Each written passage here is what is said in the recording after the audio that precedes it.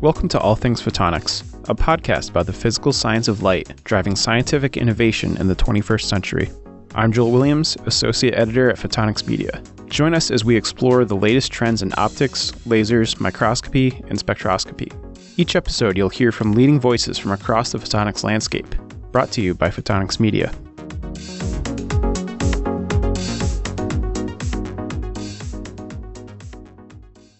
Three and a half years ago, All Things Photonics kicked off its second season with a deep dive into all things silicon photonics. Columbia University's Michal Lipson joined the podcast. In one of our most downloaded episodes, the industry luminary overviewed what we termed an emergent technology.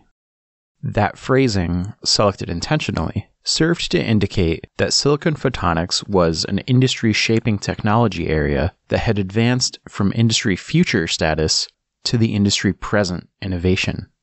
Perhaps conflated with integrated photonics technology, our chat with Dr. Lipson ventured all things photonics into topics such as AR, quantum computing, and lab on a chip technology.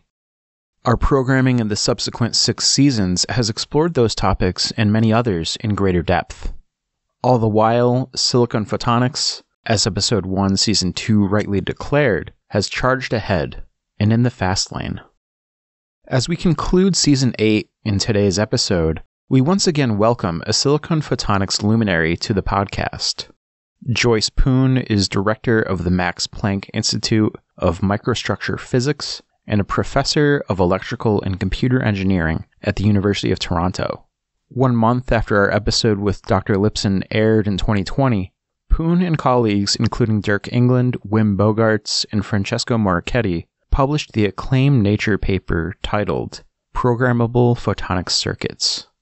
It was a simple title for an ambitious pursuit, and one which has gained traction in the last year with first of their kind commercial offerings, and something resemblant of a roadmap for next steps. Poon identifies her current focus as short wavelength silicon photonics, working with less than 1 micron deliverables beyond the O and C bands. Applications in sensing, bio, and quantum are abundant. So too are those in datacom. It is here, in and around the data center, that a conversation about AI and silicon photonics breaks out, led by perhaps the one person most equipped to lead it. Like Lipson in 2020, Poon, now into 2024, guides listeners through the present landscape of a field with unrivaled insights. This episode, a must listen as we wind down season 8, is a gateway into our future, not only as photon fanatics, but as citizens of a world in which the phrase integrated on silicon is indicative of technological sophistication beyond that which material science as we know it has ever supported wanted to begin the conversation by asking you just in the time since that paper came out, where have you noticed progress in that area? Because there has been some on the commercial side, um, but certainly more on the research side as well. That's right. So yeah, it's been really an exciting three years since that paper came out, and, and that paper is extremely well cited. And I think the big um, change in the past three years is that we've now been able to create and control very large photonic integrated circuits. So, so this is definitely a big uh, game changer. And of course, what it took was uh, much better fabrication, a better yield, and also lots of advances in packaging and integration. And, um, and also some companies, of course, trying to do um, a very large, even wafer scale photonic circuits um, for interconnects, uh, for computing. So that's very exciting. So all of that's driving uh, the technology forward. And I think that there there can be a lot done still, um, and and really the the excitement around this is around the the application of these large photonic circuits uh, for computing using light. Um, one of them is, is more classical approaches, uh, and then also very much driven by the interest in machine learning these days. Uh, happy to discuss further later. And also the other axis is uh, for quantum computing. Yeah, it's an interesting point because you mentioned um, the, this advent of machine learning enabled capabilities. I, I guess my question is, how does that tie into what's actually now being sent out in the commercial space? I mean, you alluded to, I think it was the iPronics offering. Um, what their commercial offering is, uh, is probably not what it can be. I mean, there's always going to be room to incorporate new technologies mm-hmm. and advance one the current product, but also establish new product. How are these these emerging technology areas such as um, ML converging with what we're seeing now, just entering the commercial space? Right. So I can. I think it's a. It's definitely a big question. Yeah. Um, no, no, no and I, I maybe from we can start off with uh, maybe from from the industry side, like things are already out there or are very close to uh, being commercialized, uh, as close as the current need, and then and then back and then, and then kind of step back and see yeah. the other yeah, opportunities. Good. So, so uh, I think as I'm sure a lot of listeners uh, might be aware, uh, because of this uh, growth of, of machine learning, and we're doing this interview right after this entire fiasco yeah, in yeah. OpenAI. So, for those of you listening yeah. to today, it's been an interesting weekend. Yeah. Um, but, but it just sort of uh, illustrates how um, how important this technology is, right? That that uh, it grips the world like by like all hanging on. Yeah, we so much time trying to bring photonics to the world, and then something like this happens, and you know, you, you hope that photonics does kind of get lost in this fiasco.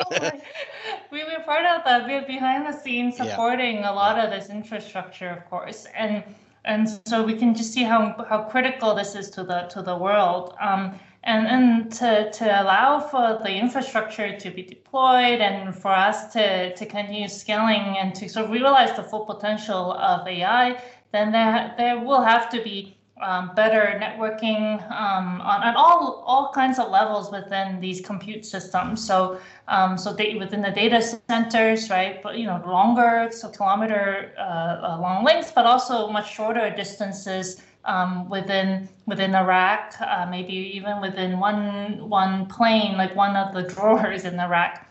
So so along those lines, and then, then photonics is really in this traditional space of enabling the the low energy, uh, power efficient, so power efficient, high bandwidth uh, communication. So this is uh, happening, and, and this is really the I think the first landing point for photonics in this computing era, um, and it's happening already and then and then a little bit uh, um, more you know exploratory and people are still thinking about that it would be um, whether to actually do computing uh, in the optical domain. And there a very specific uh, example that has you know i think taken a lot of us researchers by storm is a very energy efficient uh, inference uh, the inference part of machine learning. So um, and inference is what we usually uh, do. So machine learning, the two parts. You train a model, then you have to, uh, then you you ask the model to to take the input and give you the output. So the inference part is is is that second part. Um, and and inferencing is what actually most of the daily use you know, for normal people we, we were using the average person is is using uh, ML in, with the inference side, not not on the training. And so there, uh, there, the idea of doing using some maybe physical implementation, trying to do it in physics uh, to do the inference can potentially give a very high um, uh, gain in the efficiency, so less, a lot less power, maybe do it much faster. So this is um, there, there's a lot of these uh, smaller photonic uh, kind of companies and startups that are exploring that. Um, and also lots of research papers are in this uh, area. So, so that's that part. And then, so this is, it will take longer to see how those technologies and that research translate to commercialization. You know, there's some early, there's some startups trying to do that. Um, but, but I, I mean, it's hard. I, I don't think they, they're like being in heavy use uh, right now. In, in, in, in their defense, it is a lot of work. yes, correct. Yeah. So so it's pretty exciting. And then um, and then then and then of course as I mentioned, then the the longer term view would be well okay so this is the the ml the machine learning or machine intelligence era. And um, photonics is also very important for supporting um, even longer term computing like a quantum computer. There's lots of optics there. And in order for those systems to eventually scale out and um, you know, they, they will because if, if, you think about it, eventually those those very will come. They'll also have to be in some kind of data center type of environment. They have to be networked, so there has to be lots of um, integration that to, to allow them to to go beyond being physics experiments. Um, and and there integrated photonics and these programmable photonic uh, circuits because you would want to program computers programmable uh, photonic circuits will, will also be um, an enabling um, uh, so hardware uh, on the optics side for, for that kind of compute. So a couple couple things uh, to to build on that response, uh, but I want to start with something you mentioned earlier in the response, and that's quantum. Um, we hear about you know the need for maybe down the road, the not so distant future, the need for a dedicated quantum integrated photonic foundry. There's some really interesting work being done. Um, both Europe, the U.S., and probably elsewhere too, uh, in that space just a, a, question for you specifically. How do you view that intersection between quantum technology and integrated photonic technology? Because you're bridging two two areas that are uh, there's some separation there, but you're tying them together, and it's kind of quite exciting, both for compute and just the physics of it. Right. I, I think they're not so far apart. So of course it sounds very far, but but depending on, on what we, we we're thinking about. So the the a lot of quantum computers today, or some of the the um, uh, more exciting, uh, the very dense integration type of quantum computers um, are actually based on atoms and ions. So really using atomic systems. And, and for many, many years, that, that field has always been, you know, has always involved using light to control these atoms and ions um, to create so-called optical traps and also to to then also to you know um, to, to, actually hold the atoms on the ions and also to be to and also to to address the electronic states. So, so optics has always been part of this. So if you go to any atomic molecular optical AMO physicist lab, so these are the physicists that work in this field, is full of lasers and free space optics. Um, so, so I think it's not so far, and, and there's a lot of um, room for for trying to to integrate that and and to not only just the the tabletop optics, but that they use a lot of optical instruments like like lasers, like really narrow line with lasers, very stable lasers to to control the atoms and so on. So all of that, uh, if you if you have one physics experiment, that's fine. But what if you now need to have not even i'm not even going to put the word 100 if you need 10 of them in, a, in a manageable you know uh, area you would you would start to consider thinking i, I might need some chips here. So mm. so this is not so far. Um, it, it's, it's just doing bulk so bulk optics we use chips. And then the other uh, maybe more exploratory longer term um, um, type of work would be to actually use the photons themselves um, as the quantum uh, bits. And uh, I think I think many people already think that you would need to have single photon um, as the photons as the carrier of quantum information when you link two quantum computers together. So that just like how we use light classically to communicate, but in, also in quantum systems that will likely be the case. But then the, the, the longer term, um, another potential application is actually using the photons themselves uh, to do the computation. And, and so that that's, um, I would say, a longer term um, type of um, exploration. Is there a, a roadmap or anything close to it, uh, just in terms of the quantum integration stuff? I mean, mm-hmm. it's it's certainly a, a new technology, but I ask because so much of our talk about PICs is grouping it to a microelectronics roadmap, but I'm not sure if the relationship that quantum had with with the microelectronics side is uh, a direct parallel to what we see with quantum and photonics. Um, maybe a better question is where are we going in the quantum space, and, and when are we going to get there? Um, I think that uh, there is, to my knowledge, there's no, we, don't have a common roadmap, but we all agree um, as researchers that there there will have to be um, improvements in um, reducing optical losses in the waveguides. In some instances, the, some materials they, they fluoresce, and so that very weak fluorescence will, will constitute as a noise, right? So you, you have to improve the materials, you have to improve the fabrication.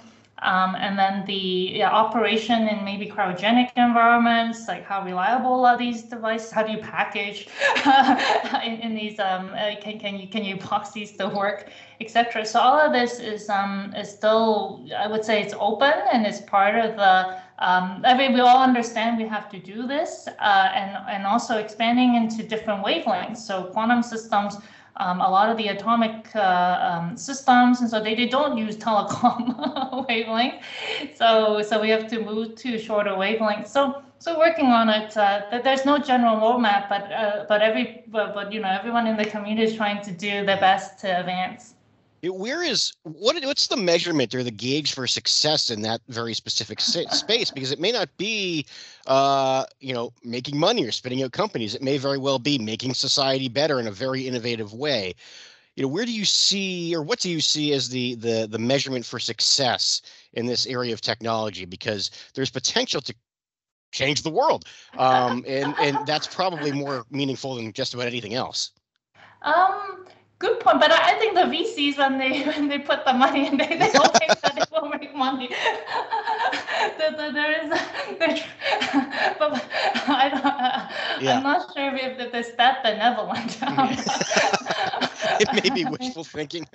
it's an interesting point. I mean, it, it is just it's always interesting to hear the view of this intersection between really high level R and D and commercialization. Um, it's it's it um always yields an interesting response. Um, we'll focus on your area of research because it gives you the chance to to bring very distinct technologies together, right? Like silicon photonics and neurotech. Uh, and if you wanted to go into wearables, you could do that, just given the nature of the work that you do.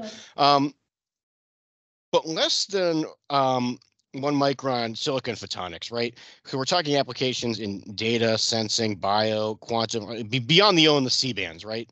Mm-hmm. Um, what's the origin of this interest for you? Because it, it's another one of the, these these pieces of this larger technology with some really interesting applications. That's right. Yeah. So I, I got interested in doing integrated photonics on silicon. Is still silicon photonics actually, because it's made in silicon photonic foundry. This is completely compatible with the foundry processes. Um, uh, for these visible and infrared, so less than wavelength less than one micron, um, I would say around seven years ago, 2016 or so. And, and at the time, um, we, we were very motivated, I was very motivated to, to develop uh, brand new tools for neuroscience. Um, so these are brain implants, to be precise, and, and it's pretty out there scientifically. But as I started to, you know, to, to explore this and, and thought about this um, more and more, work on this more and more, and I, I think the opportunity is very exciting because there are many um, applications, as you as you mentioned, these um, uh, for health and sensors, um, also displays um, as an example, quantum systems. There are these right. these other types of applications that are, and some of them are even in the consumer side. Uh, right. right? We should be clear too. Just sorry to interrupt you. We should be clear too that when we're talking sensing, it's not exclusively biosensing. Like it's a wide oh, range of different sensing. Yeah. Yeah, correct. Yeah, it could be even um, uh, depth mapping. Yep. So if we, yeah, you know, there, there's a lot of optics that happens outside of the O and C band. Um, and in fact, probably if you look at all of the applications optics, I think most of them are are in the visible and infrared range. And even in the in the space of data communications, look at look at the huge success of VCSELs and they're all at the you know gallium arsenide base, 850 nanometer, 900 something nanometer, uh, and and the and also the depth mapping sensors in in in our phones now even. So so the the interest there, then I started really oh there there are lots of applications for for photonic circuits um, in these in these shorter wavelength ranges, and in fact in these shorter I I think uh, some some of them being even commercial applications can have a huge potential for silicon photonics uh, in the future. So I, am not a I'm not a, a, business person or something like but but um, to one one thing that I've always observed in, in integrated photonics is that of course we we we've been very much focused on the on the telecommunications side. We, we come from this fiber optic sort of heritage, and so so um, so we, we focus a lot on that. Um, but but um, the the use cases uh, at these very narrow, uh, very specific wavelength bands, so dictated by the properties of an optical fiber, is you know they they're not so they actually comparatively I, I feel narrow uh, to all of the applications in in in optics and. Um, and this is what actually I think is one of the, the the challenges, the difficulties of of the continued growth um, of uh, photonics, like silicon photonics, uh, the, the, the, sort of more traditional conventional flavor. It's just that the volumes are not that high uh, for manufacturing. For for it to be like in electronics, like you know, you keep bringing, yeah, you sort of highlighted that like is, is photonics like microelectronics? Like it's not uh, because we we don't we, we we don't have these really broad use cases. The volumes are and then silicon photonics like these transceivers are probably already the most successful the highest volume type of um, uh, photonic uh, circuits and integrated photonic products that are out there. But but from a microelectronics perspective like you know our volumes are, are like completely negligible. Uh, so so I think I, I, hope that there would be um, that that there would be some applications that that can harness really this integration of a lot of optical and also some electronic function on the chip. And I think those applications are, are not likely going to be in, in the data, just not in the not only in the data communication side, and um, and at the 1.3 and 1.5 micron bands. And I think exploring this, yeah, some of these applications, we'll see how how they they develop. Uh, working on the shorter wavelength ranges have their own know, the, the, these shorter wavelengths have their own challenges um, to, to get the, the fabrication and the test and then so on, uh, right? So it will take time, but I, I think we can, there's a potential of unlocking some uh, major uh, applications uh, be, beyond my original sort of scientific one. Mm-hmm. It's interesting because you mentioned this this optical fiber f- framework, Mm. Um, and, the need to maybe not overcome it, but certainly advance from it. And that isn't to say that optical fiber innovation isn't taking place. Mm. Uh, I just think on the medical side, uh, but it's true. And you think about companies like Anello Photonics, and certainly the brain power there is great. I mean, it gets considerable, but the you know the possibility to advance gyroscopy away from optical fiber and into silicon photonics that's impressive work. Um, was there always this this need or this desire to move beyond fiber, like when you were starting out? Was that always an ambition, or was that something that happened um, maybe more by chance or serendipitously? Um.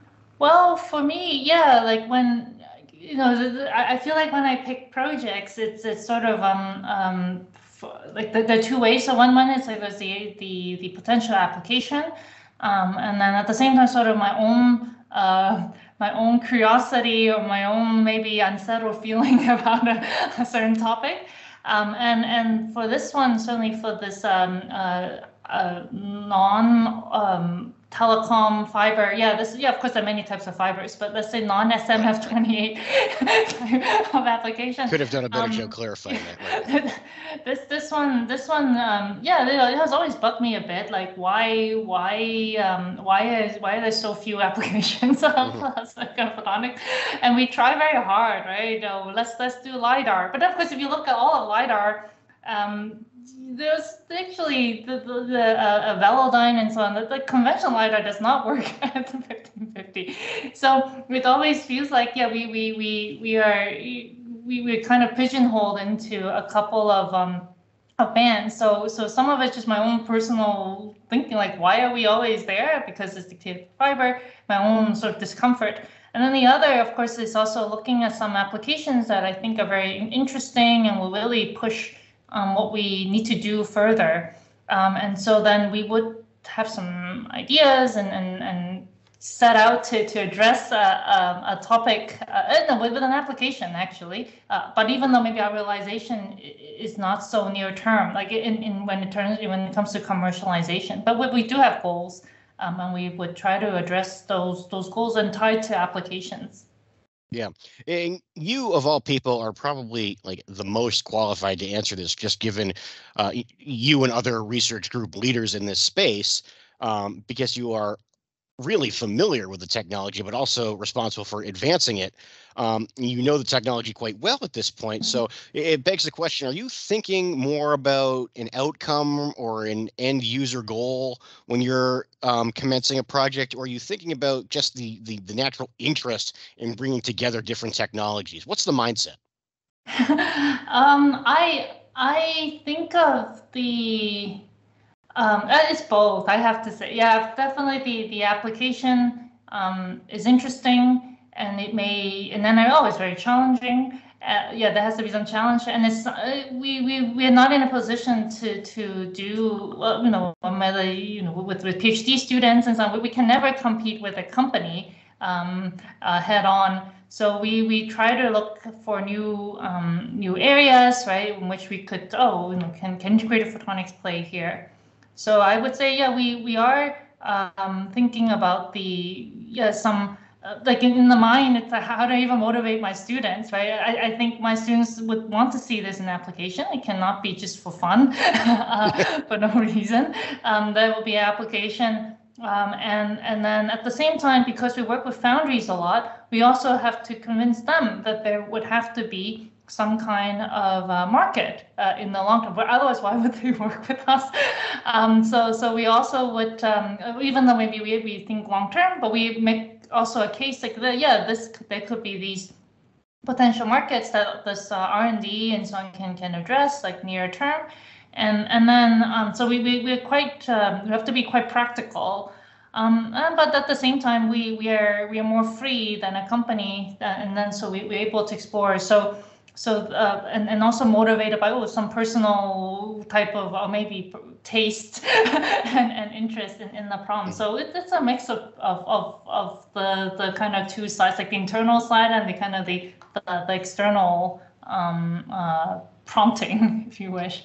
Yeah I, I, mean you you are working with foundries. Let's make that yes. that clear it, that's not just something that those on the business side uh, mm-hmm. do um, have those conversations, those dialogues with foundries changed over the last few years as the technology has advanced? Are you getting the sense that there's more eagerness uh, to take on certain projects? Because foundries are are kind of kind of odd, right? There's some foundries that want nothing to do with certain materials, and it's it, this is not a, a fault of any kind. That's just the nature of how foundries work.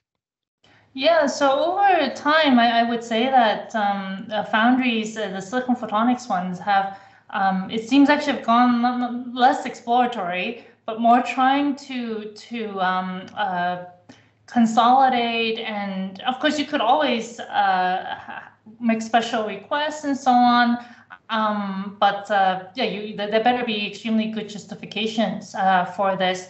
And um, I think it's not a secret you know if you go to OFC and so on you can hear uh, from from the other foundry um, uh, from, from different foundries they yeah because they're so because photonics has always tradition well has been tradition very heterogeneous uh, very diverse and so um, they they they see a lot of requests and they i think a lot of them are just hoping that some that there'll be more consolidations easier on their side. Right to be able to manage. So actually, over time, I would I, I, I would have to say that um, they're becoming um, uh, yeah I wouldn't say less flexible. You can always do something, but um, but certainly the, the there has to be a good uh, business case. Much of your work, both now and in the past, has will fall into what we would consider multi-material Hmm. um, integrated photonics. Uh, two part question How did that emerge as a focus area for you? And then follow up to that, where's the opportunity now? Right. So for myself, um, I have always thought that there would be multiple materials and and the reason for that is that um, when uh, so I, when, when I started as a professor, so 2007, um, so silicon photonics was was getting very it's become uh, increasingly popular. And but I never understood why you have to guide light in the silicon. Like I just didn't get it. Like why? It's not the best optical mm-hmm. material you could have. So so in my mind at the time, like well, there has to. I would. I was already trying to think about doing silicon nitride as material to as a as the primary passive waveguide material, and then um, using the silicon um, maybe for, for modulation and, and, and having a, the detector. So even in the datacom, uh, telecom application. So so in my view, it never seemed to me that silicon would be the end. Like it would never be a single material.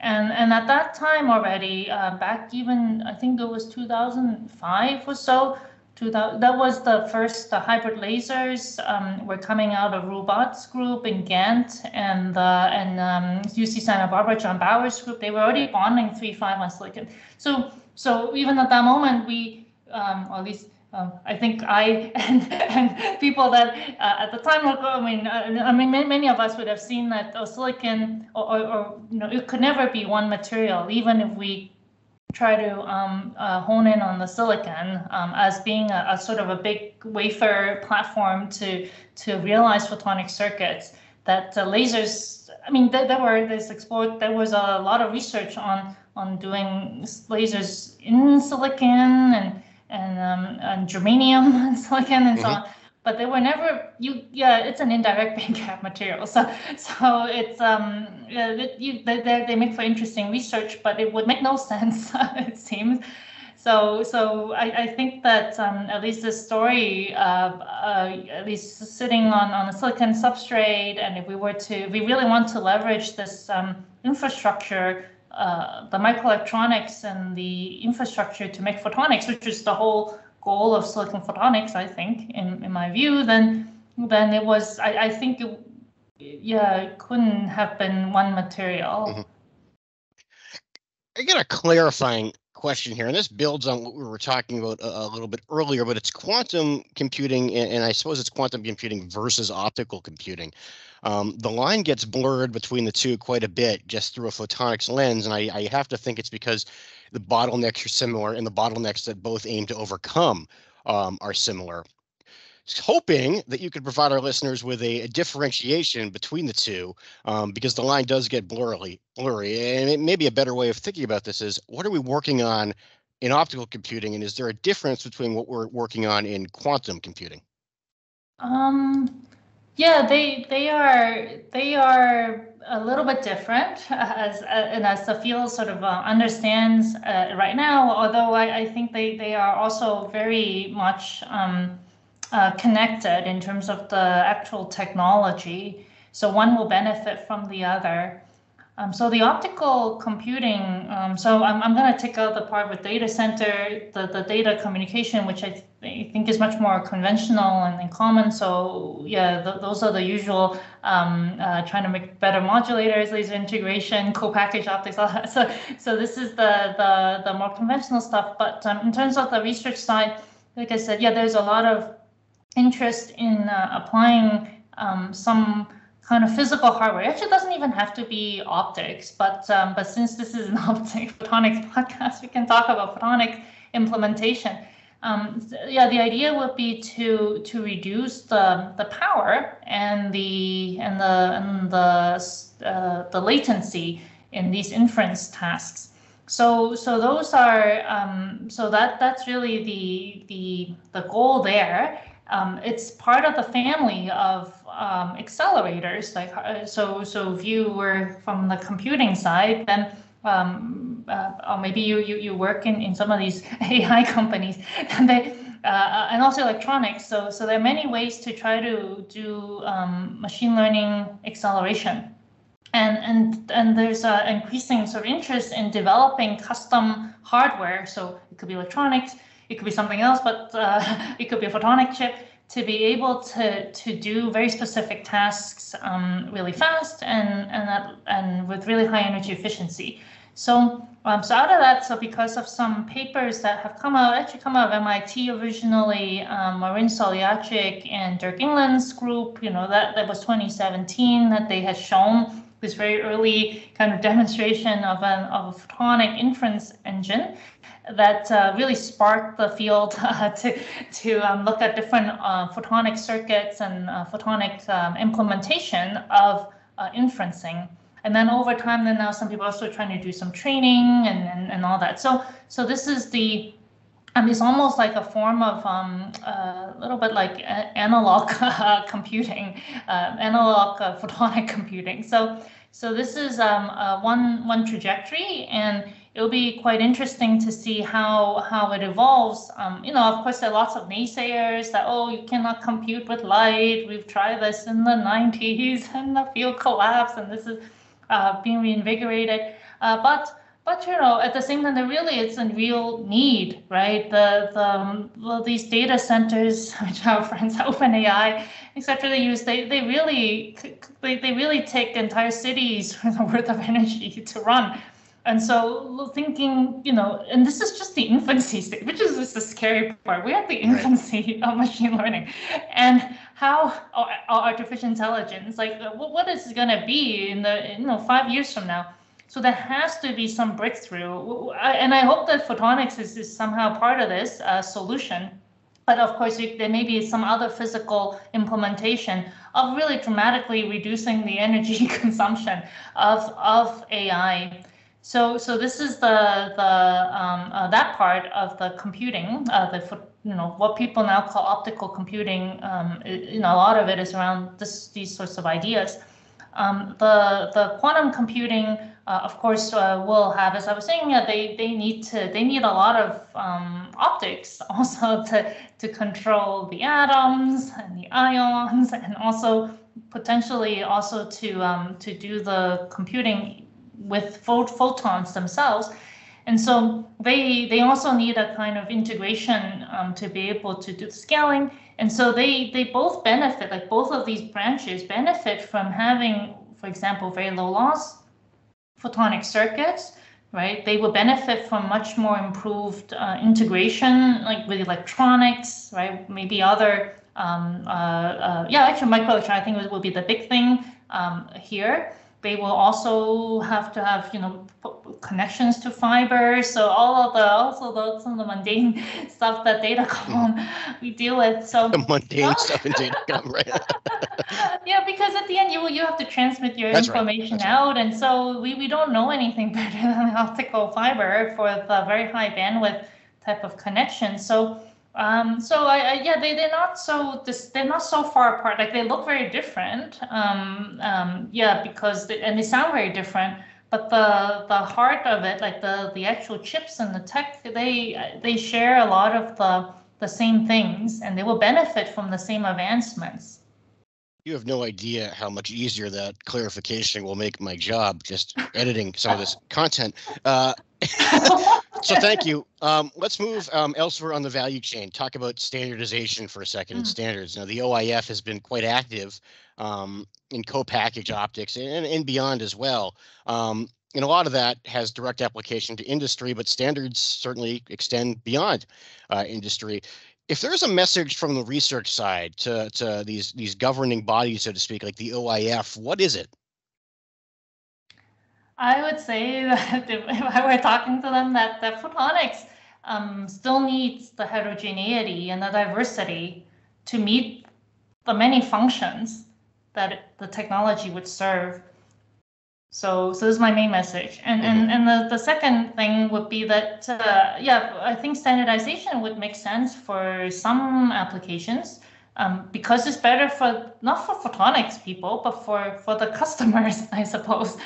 that um, uh, but the, that I think probably a lot of it is being driven from this datacom uh, optics. Uh, but I, I don't know. One has to sort of standardize the chip itself. But if you just have the inputs and outputs. And so on, uh, standardize that might already be sufficient um, rather than going into all the the, the insides.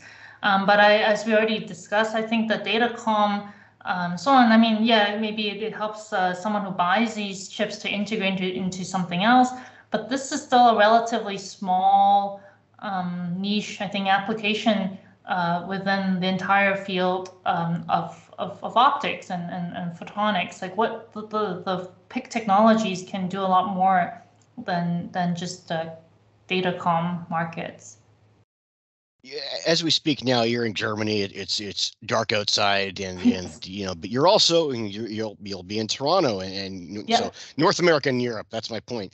Um, mm-hmm. So you have an interesting opportunity there to work uh, in and throughout both uh, locations, and you know both have passed Chips Act and, and legislation similar in some ways, different in in the details in other ways just as it relates to developing an integrated photonics ecosystem and fostering that ecosystem, do you notice a difference between the, the EU approach and the NA approach? Uh, yeah, there, there are some, I, I think. Um, and I think by North American, I, I come from Canada, so so yeah, Canada and U.S. is also very different. Right. Um, but general speaking, I would say the EU and the U.S. they're both investing heavily into photonics and um, and, and other related uh, uh, so semiconductor technologies.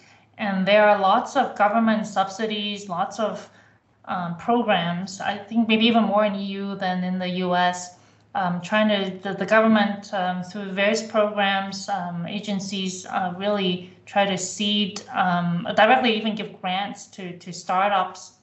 Of course, the U.S. also has this SBIR program, so, so there's, there's a lot of that going on. The U.S. Uh, generally would operate through um, its defense agencies, um, yeah, uh, DARPA and so on, the, where the funding might might actually, you know, it's funding uh, uh, sometimes very basic research, but it's through uh, the lens of of um, of, of the security, the national security of the country. So, so that's quite interesting, and this is not uh, so common. Definitely not common in Europe, not common in Canada. Um, and I think um, in Canada, the, the there's a the, the, the, weakness is is that the the the whole, the whole research system and, and the, the seed stage is just completely underfunded. So I, I hope some some listeners from Canada, but it, it's it's it's just completely depleted. So Canada is probably has uses its resources extremely efficiently, I would say, be, to be able to perform at its level. When the funding, I mean, I've just personal experience, it's like off by like an order of magnitude. Like there, there, there is like a 10x or more uh, kind of gap. Um, so so makes it very difficult for for uh, Canada to. I mean, it has to to really dream very big and to engage in in something uh, longer term and with a broader vision. So this is the the Canadian weakness. Uh, the but but uh, but if you the, the strength is that then I think all the Canadians researchers uh, they use the resources um, and we use it extremely efficiently. I I can't imagine like I mean it's just how can you do this with like one twentieth of the resources? Yeah. Um, sometimes even one one hundredth of the resources, like missing a, a couple of zeros. Um, and the, the EU, the EU, um, of course, has, a, I think, um, yeah, I mean, it, it, doesn't have the military kind of a defense uh, angle uh, usually, um, and uh, so so granting um, and so on will become, a, you know, supporting a broader range of of work um, because it, it doesn't, it's not, it doesn't, not everything has to be funneled through the the through to national security. Um, but the, the, the U.S. system also uh, through through the you know DARPA and, and the programs that it calls also uh, to, I mean it's competitive and it's tough, um, but it it has the effect of kind of uniting a lot of researchers um, from around the country to to to tackle um, the different you know challenges that are set out by the agency. So it has its benefits of of bringing people together. Um, although maybe maybe it's also sometimes very very competitive, so it also drives people apart. Yeah. Um, at extreme, yeah. I want to end with this, and I, I, I think I'd be uh, overlooking something quite obvious if I didn't ask this question. Um, we've talked about a number of distinct technologies and applications too uh, in our discussion here. So my question is this: Is there one or two or three that you deem most critical or most interesting, um, or or I suppose, most central to your goals and ambitions moving forward? Hmm.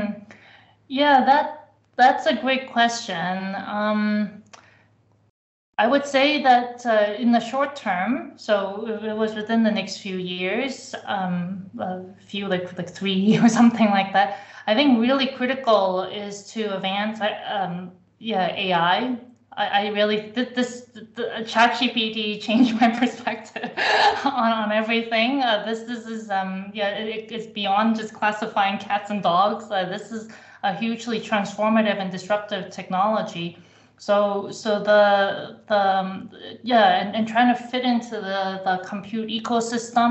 Um, and there, there, there are of course many ways to, to dissect that, right? Whether it's the data center communication or or really like board level compute, the connecting processors to memory and different processors together, uh, a connection fabric. I think I think in the very short term, um, that that is critical, and and it's also uh, very motivating uh, for myself. And then uh, a little bit, you know, looking um, uh, further, then I I do hope that you know one day.